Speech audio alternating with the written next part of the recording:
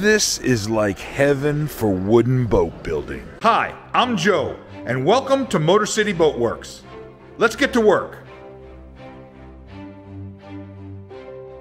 If you're new to the channel, I want to welcome you, and if you're one of our returning subscribers, welcome back to the show. This episode, we've got something really special. I've traveled about 250 miles north of the boatworks to the Upper Peninsula of Michigan. We're on the shores of Lake Huron, and we're going to be visiting the Great Lakes Boat Building School. It's one of four schools in the United States where you can learn how to restore wooden boats and marine technology. We're going to be talking to Tom Coates. He's one of the directors at the school. This is Tom. Thanks, Joe. Thanks for coming. Uh, yeah, I'm Tom Coates. I'm the director of development here at Great Lakes Boat Building School.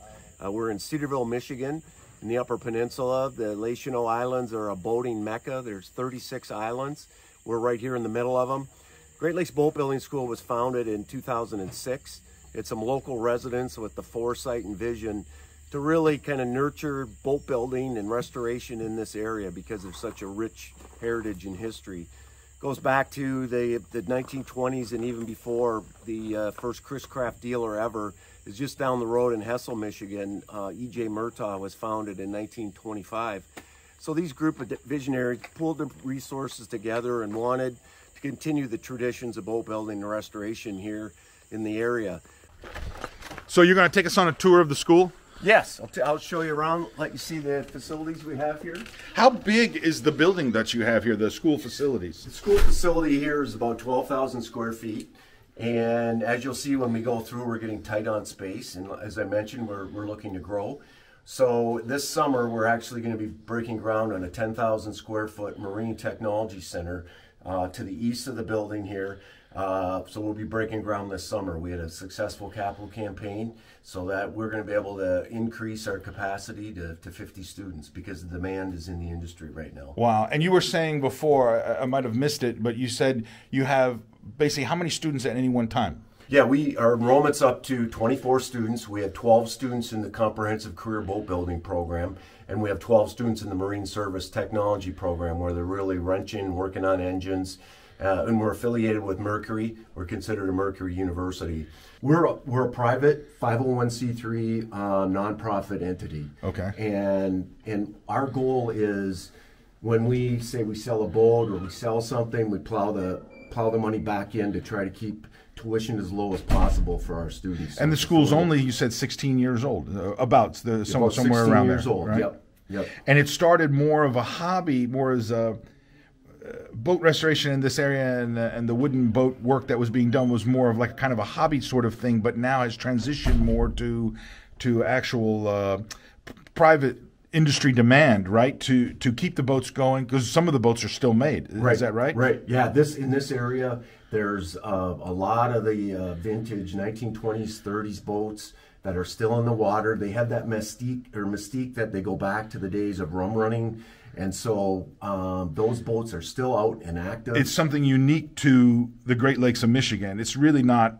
You don't see this per se on the East Coast or Chesapeake or maybe even the Pacific Northwest, right? It's unique to the fresh water Yep. of the Great Lakes. Correct, correct. And we're we are the Great Lakes Boat Building School. We are the only school in the Great Lakes region. So we have we have placement of students in Wisconsin, all throughout Michigan, even down to Kentucky. We have some students in Texas.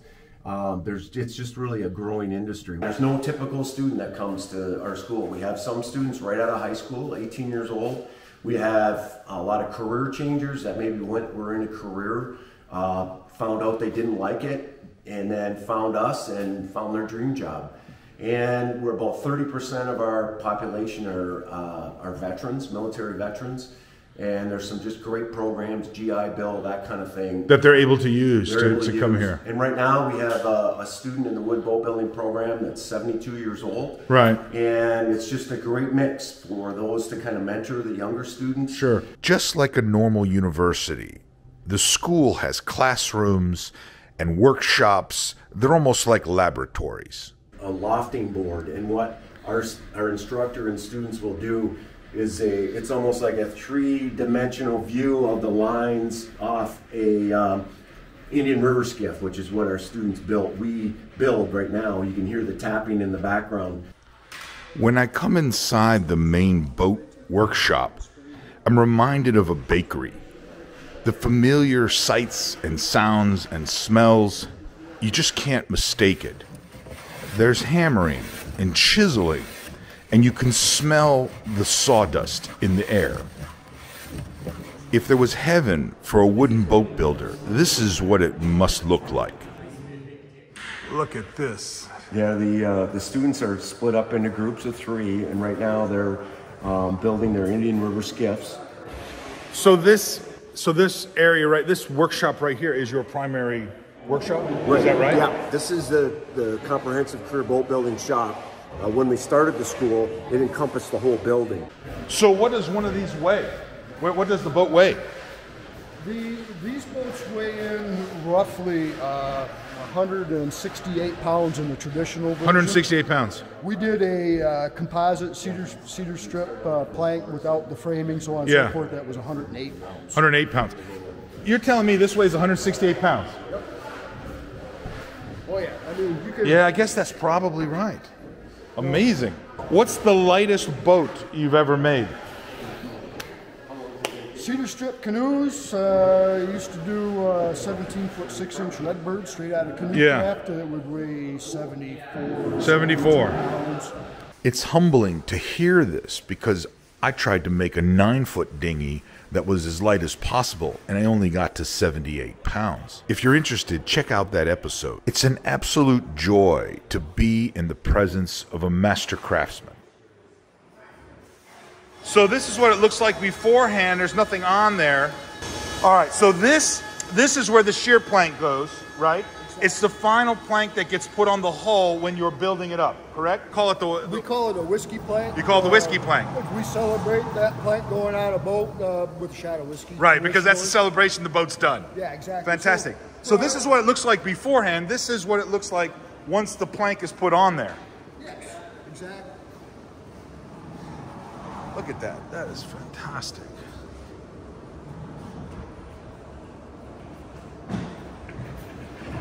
Well, you can see this boat over here, they're actually the last uh, sheer plank to the hull.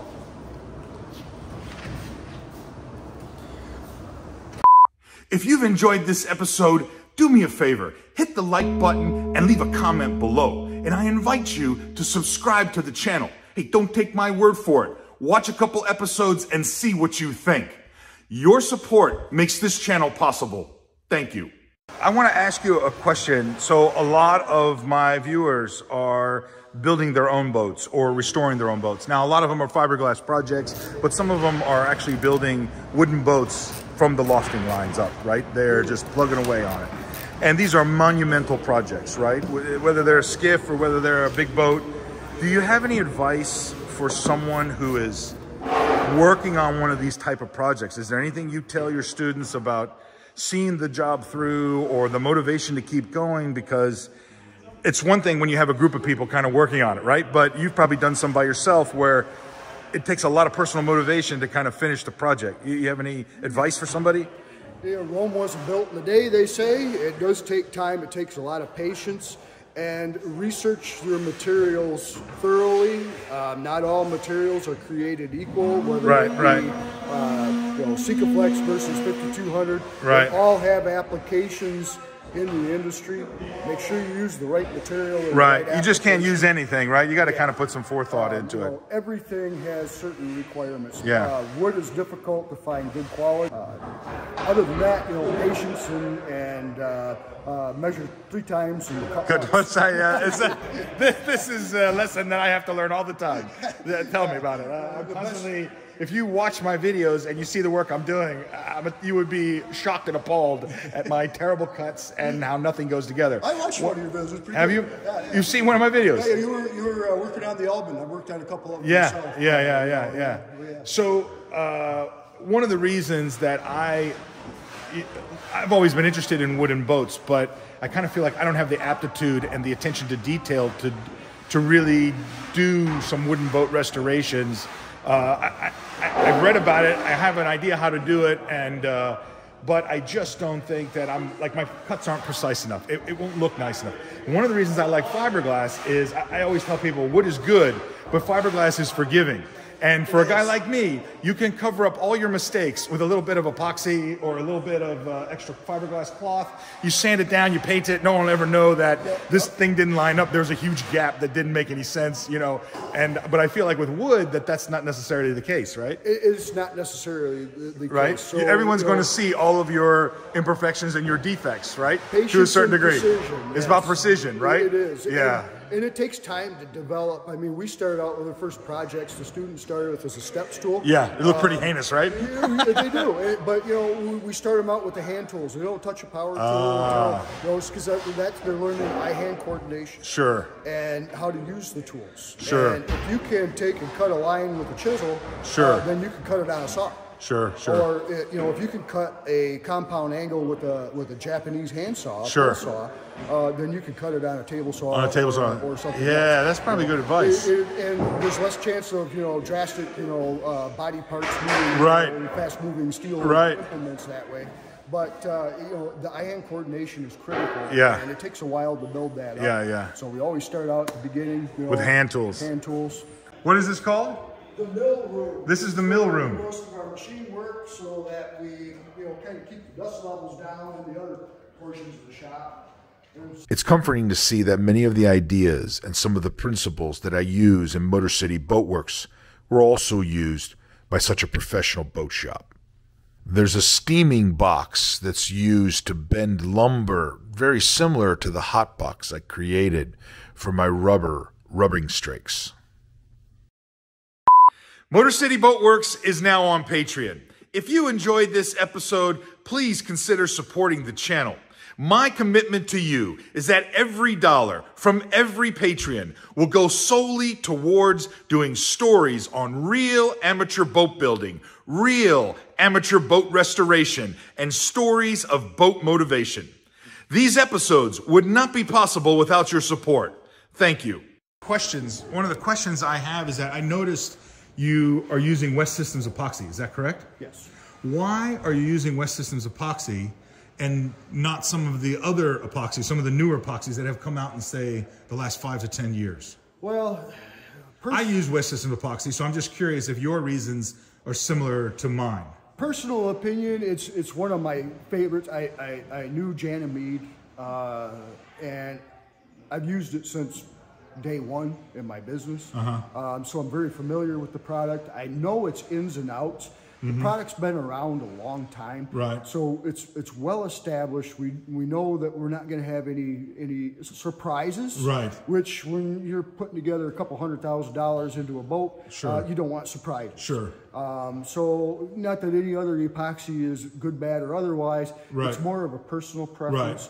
Something you um, get comfortable with, and you kind of Yeah. I, I like it because of its consistency. I get very is, very consistent, consistent results, results. and my skill level is not that great. My attention to detail is not that great, and I find it to be very forgiving for a guy like myself. The instructions are relatively easy to use, and it just kind of it just kind of works Yeah, when I'm exactly. using it. I, I never have a problem with it. They have they have their their product that I prefer the most. The, their resin hardener combination is the 105 slash 207. Right. I prefer the 207. They call it special coatings hardener, Right. but it is it's it's slightly more uh, moisture proof. The, the 207 is more moisture resistant. Sure. Uh, it's slightly more UV resistant. Yeah. Um, and those are key important things. And I like the workability of the 207. Yeah. And if I decide after I coat, put a coating of epoxy on something and I really like the looks of it and I decide to varnish it instead, Yeah. I'm better off with, uh, Yeah, with the epoxy. Yeah, yeah. Slightly stronger.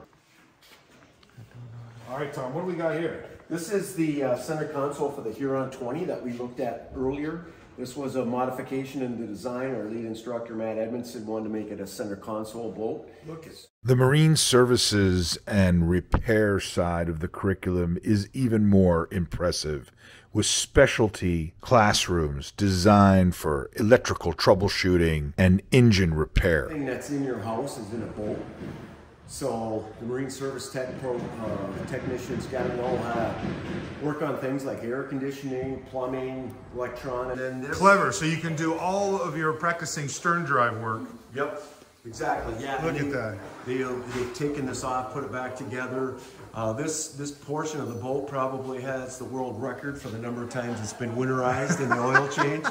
Our relationship with Mercury is really good because each student will get a technician number, and so that they, they can go in, they can um, mock order parts that are needed for a repair.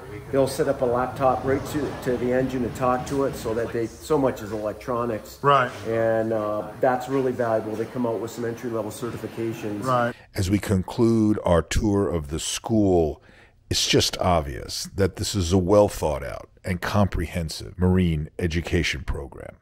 Been an amazing tour of the Great Lakes Boat Building School. Tom, I want to thank you so much. I really appreciate it. We really enjoyed seeing everything that you've got here.